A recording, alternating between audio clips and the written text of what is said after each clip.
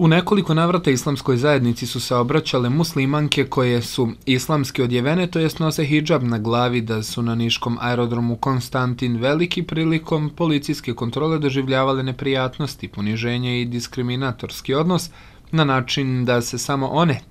žene sa hijabom, islamskom odjećom, bez izuzetka odvode u kabinu na pretresanje dok se to ne radi sa drugim putnicama – Predsjednik Islamske zajednice u Srbiji reagirao je ovim povodom u pismu koje je uputio direktoru Dušanu Kneževiću, istakao da se ovakvim postupanjem muslimanke diskriminišu te da se prema njima postupa selektivno. Obzirom da ste nedavno imenovani na funkciju prvog čovjeka Niškog aerodroma, od vas očekujemo da pomenute navode ispitate i ukoliko se utvrdi njihova istinitost, da ovu vrstu diskriminacije spriječite, kaže Muftija Dudić u pismu